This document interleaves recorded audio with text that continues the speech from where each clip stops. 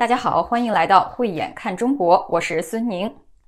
这位摆摊儿的大爷为了证明自己卖的盆质量好，猛摔猛踩却无人问津。看到这一幕，真的只有心酸。中国经济每况愈下，失业率大幅提升，许多民众的生活已经被现实压得喘不过气来。视频里，这位公司老板坐在自己的奔驰上，崩溃大吼大哭。绝望的感觉透过屏幕都能感受到。中国经济环境差，大大小小的公司都支持不下去了。这位老板只能卖车卖房，想到自己奋斗得来的一切，心中怎能不苦呢？大叔为了赚点钱，扛着一百四十斤的冰柜上峨眉山送货。如果不是亲眼所见，你相信这是现代中国发生的事儿吗？只要你用一个字形容现在的生活，中国百姓的答案不是累就是苦，还有难。北京外国语大学一位硕士生优秀代表在毕业时的一番话语惊四座：要是我没上过大学就好了。如果我没上过大学，我就可以心安理得的去当服务员。可是我上了大学，拉不下脸。如果我没上大学，就可以找一个没有学历门槛的工作，不用像现在这样进退两难。我真的很想当美甲师，可是我读到了博士，家里人肯定接受不了。要是没上过大学就可以接受一个平庸的工作，不用像现在这样找工作嘛？不理想。普通的体力活，感觉又对不起这么多年的付出和父母的期望。都说知识改变命运，结果不但没改变命运，反而成了命运的枷锁。年轻人的崩溃只在一瞬间。这位年轻女生边说边哭，令人心疼。我有的时候真的就在想，我上大学到底有什么意义？我大学学的是文案策划专业，每周就那么几节课，和其他全是马克思近代史、社会实践课、创业课，反正就是什么什么都懂一点儿，结果啥啥都不精。出了学校之后，发现就我这活儿，其他专业上没上过大学的人都会写一点儿。我从毕业开始到现在，面试了将近有五十多家公司了，有的公司甚至是实习期一份工资都没有，而且不能转正。我说这是不是脑子不太好？经济不行，中国企业欠薪已经是普遍现象。讨薪曾经是农民每逢过年的日常，如今不止农民，建筑工人、公车司机、医院员工等各行各业皆有欠薪的案例。许多人聚集在政府办公楼前进行集体讨薪，甚至那些曾经在疫情封控期间耀武扬威的白卫兵也走上了还我工资钱抗议队伍。因为疫情结束了，相关政府却无力支付这群白卫兵的应得费用，这就是当下中国的真实现状环境：经济不振，民怨四起，整个国家笼罩在衰败的哀嚎声中。企业倒闭，商家关门，股市崩盘，房价暴跌，失去工作，拖欠工资，不敢消费，年轻人躺平等等。总而言之，日子不好过，几乎成为当下中国人最关注的话题。中国的经济就像一头野兽，在中共政治的高压治理下变得变幻莫测。它既能让你一夜之间发家致富、人模人样，也能让你一瞬间一贫如洗、失去尊严。曾经是闭门锁国、拒绝西方，国民在一穷二白的环境中生存，一场自然灾害就能饿死几千万人。对外开放后，大批外企涌入中国，政府引领全民一切向前看。经历了二十年的经济高速增长，处处高楼平地起，社会阶层走向两极，既诞生了一大批富人，也营造出一大批穷人。但富人的光芒屏蔽了穷人的存在。中国人的庞大购买力几乎令西方人感到惊叹，就像中国大妈掀起抢购黄金潮那样，中国人给世界的印象就是有钱。一场全球新冠大流行，全球都在平稳中度过，唯有中共当局采取世上最不人道的强制封城措施。清零政策下，人为灾难不断，人们有钱也买不到生活必需品，处处上演着守护防线的大白与要吃饭的居民发生激烈的冲突。四年过去了，百姓突然发现，他们似乎遁入了另一个世界。四年前的生活方式不见了，因为口袋里没钱了。曾经骄傲地赞美中国经济崛起的人们，如今开始无奈地收紧裤腰带，准备迎接苦日子的到来。在疫情持续两年后，各地的倒闭潮、失业潮波涛汹涌。据广东的媒体报道，仅2022年的前六个月，东莞就有三千多家工厂停止运营；而在2023年上半年，据不完全统计，中国有46万家企业倒闭，310万个体户注销，约373万家餐饮店闭店，全年有两亿人失业。就在中国青年失业率飙升至历史最高水平之际，二零二三年八月，中国国家统计局发言人傅林辉在记者会上宣布，由于调查统计工作的健全优化，自八月起将不再发布失业率的数据。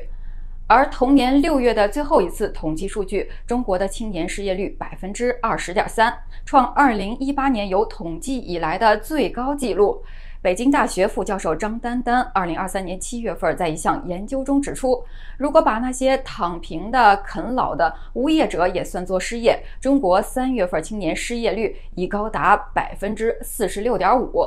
今年二月，北京中国人民大学普惠金融研究院发布一份小微企业金融健康报告，说通过对两千三百四十九家小型企业的调查发现，超过三分之一的受访者企业承认财务状况不佳。报告指出，河南、陕西等地的小微企业处于金融不健康状态的占比较高。广西和重庆的小微企业金融健康状况存在两极分化的现象，在日常财务管理上，百分之八十左右的小微企业的应收账款拖欠问题严重，资金回流压力较大。而从整体来看，小微企业依然存在。融资难、融资贵等问题，随着债务不断累积，这可能成为导致小企业倒闭的多米诺骨牌，进而影响1.8亿人的就业。人们期待到了2024年会有转机。残酷的是，中国疫情后复苏不如预期，经济前景充满不确定性，消费者勒紧荷包，导致大量餐饮企业倒闭。根据中国国家统计局最新数据，二零二四年第一季中国注销和吊销营运的餐饮企业也高达四十六万家，较去年同期猛增百分之二百三十二点六。粉丝数量高达八点三万的微博网红餐饮老板内参四月二十日撰文认为，在经历了过去一年的创业潮后，今年第一季的餐饮市场俨然进入了高速汰换期。没能找到突破口杀出重围的餐饮人、餐饮小白们，只能被残酷的现实抛下。今年第一季，中国有很多知名老牌龙头餐饮企业也纷纷关门歇业，例如新中式烘焙两大龙头品牌虎头渣打饼行与默默点心局。在经历了近两年的苦苦挣扎之后，在今年开年，虎头局申请破产清算，默默点心局注销了公司。另外，呷哺呷哺，奈雪等龙头创业的复牌大规模闭店关停。除了底层百姓正在失去收入来源，而原本的铁饭碗拥有者也日子不好过。据近期线上招聘平台智联招聘的调查显示，约百分之三十二的中国白领说，去年他们的薪水减少了。从房地产到科技和金融，这些行业都因为受到了中共政府新的管理制度而面临打压。从今年年初开始，中国银行业现雪崩式的减薪潮。一些从业人员表示，此前月薪过万元人民币，如今到手月薪仅不足一千元。据澎湃新闻报道，西部某地方性银行的客户经理赵佳今年四月收到当月薪酬，他表示，底薪加上绩效，再扣除每年固定的五险一金，到手的不足一千元。上个月这个数字是两千多。而此前他的月薪可以过万。赵家主要负责存款和零售业务，已有十二年的工作经验。而他的薪酬缩水最明显的部分是每月的绩效奖励。今年拉存款所能获得的提成较此前大幅下降，他的月薪因此下降超过九成。郑州银行董事长赵飞在该行业业绩说明会上称，郑州银行已提出倾斜一线、优化资源配置和降本增效工作要求。高层薪酬自二零二四年起分两年，每年压降百分之十，同时优化薪酬分配极差。将调整出来的薪酬资源配置到基层员工。自去年以来，银行业减薪一直备受议论，银行降薪的话题，网络浏览点阅数近百万次。更有网民感叹，他经历两轮降薪，平均月薪从八千元降到四千元。第一财经上月报道，平安银行高层降薪幅度超过百分之四十，招商银行、民生银行高层降薪幅度也超过百分之三十。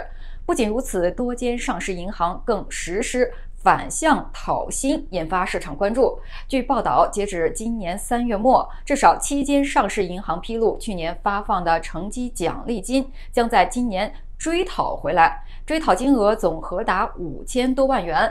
一位大陆网民在微博发帖说：“刚开始还房贷就说要减薪了，日子不好过。”另一位网民的帖子也引发了很多人的共鸣。他写道：“现状就是劳动力廉价，市场低迷，失业、减薪、裁员的情况下，多数人的收入本来就不高，还要再打个折，再加上疯涨的物价。”彭博社报道，上海打工族胡先生离开老家，在外面打拼近十年。终于在二零二零年买了一套房子，再用省吃俭用积攒下来的钱买了一辆车做副业，周末当网约车司机赚钱补贴家庭收入。他对未来充满信心。四年后，他现在感到绝望，房价跌了近四分之一，网约车生意也在大幅下降。他跟乘客聊天时，突然发现，原来大多数人都跟他一样，都在挣扎中生活，都在抱怨执政者无能。在全国范围内，无论收入水平高低，中国企业家和工人的钱包都在缩水。在广东省从事出口供电设备贸易的黄先生说：“疫情爆发前的几年是他的美好时光，他买了特斯拉电动车 Model X，在深圳南山区也买了一套房子。”谈到现在的生意时，他说：“从来没有这么糟糕过。由于销售疲软且未来不确定，制造商不顾锁定长期合同。”黄先生说：“对于当地企业来说，二零二三年比疫情开始几年还难熬。他知道很多人陷入债务陷阱，需要支付昂贵的房贷，还有一些人的房子被迫成为法拍屋。”黄的公司已经解雇了五名工人，像恒大这样巨型房企，曾谱写出光芒四射的中国房地产神话，如今却轰然倒下，留下二点四万亿元的巨债，以及遍布全国上百万套烂尾楼。房价大跌，令背负着巨额房贷的房奴们苦不堪言。拥有近三十万粉丝的油管旅游博主培根拍视频诉苦，说自己二零一九年在位于西安市的西咸新区以一平米一万一的价格买房，新冠疫情后房价一度涨到一万六，但现在跌到一万不到。现在这个房子呀，这个价格差不多崩到首付已经全部赔进去了。西咸新区曾号称是国家级的新区，却也撑不住房价暴跌。除了房价跌破成本，房贷利率也让培根一家三口吃不消，因而选择砸锅卖铁先还一些。培根妻子说：“四年了，本金还了三万一，利息还了二十多万。”还好银行把利率少了一点儿，我们贷的时候是百分之五点六，现在降到百分之四点二。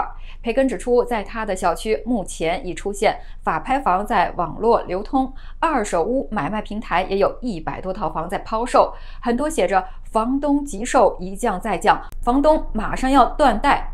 在重庆从事餐饮业的陈怡也是一名心酸房贷族。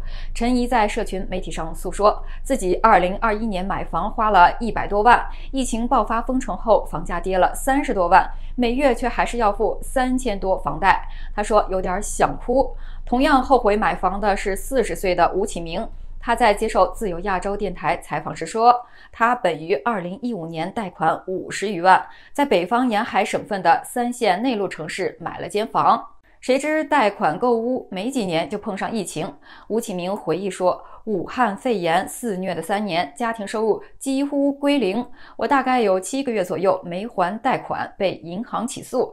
他说，经过各种协商，房子才没被拍卖。法官告诉他，他们城市太多法拍房，他的房子就算拍卖，三年之内大概率也卖不掉。根据房地产市场分析机构中指研究院二零二四年二月一日发布的百城价格指数报告，今年一月，中国一百个重点城市二手房均价为一万五千二百三十元每平米，环比下跌百分之零点五六，已连续二十一个月下降，同比下跌则扩大至百分之三点九六。其中，仅三亚房价微幅上涨，其余九十九个城市价格环比皆下跌，已连续八个月逾九十城二手住宅价格下滑。一位名叫张朝的表示，他来自山东潍坊市。经过三年的疫情，中国的经济并没有想象的恢复原状。而随着中共不断的对企业的国安审查，很多外企逐渐撤离中国，导致中国失业率不断增加，外资缩水，政府、国企、公务员工资大幅降薪。有的地方甚至拖欠工资，由于收入减少，大家也不敢消费了，很多商家生意惨淡，纷纷倒闭。目前，中国房地产行业深陷危机，房价大跌，老百姓辛苦一辈子买的房子严重缩水，民众苦不堪言。不敢消费的背后，更深层次的原因是人们对未来的担忧。中国经济的快速发展带来了巨大的挑战和巨变，使得社会的不确定性不断增加。贸易摩擦、金融风险、就业压力等问题，无时无刻不在影响着每个人的心态。追求安全感成为了许多人的首要目标，因此他们不敢轻易放手去消费。近年来，中国的物价一路飙升，而工资上涨缓慢，奖金却直线下降。实际的家庭收入在减少，购买房子本作为人们维系家庭稳定的基石，如今应付房贷也成为了消费决策的重要因素。由于收入减少，中国年轻人开始精打细算，穷鬼套餐越来越受到中国年轻人欢迎。中国网络上流传的一份穷鬼套餐食谱显示，早上花三元吃自助餐，吃到饱。午餐选择肯德基十九块九，OK 套餐。下午来杯一杯九块九咖啡醒神。晚餐去 Seven Eleven 便利店买十元的面食套餐。晚上八点半后再去盒马鲜生捡漏打折商品。好的，感谢您收看《慧眼看中国》，欢迎订阅关注我们的频道，下次再见。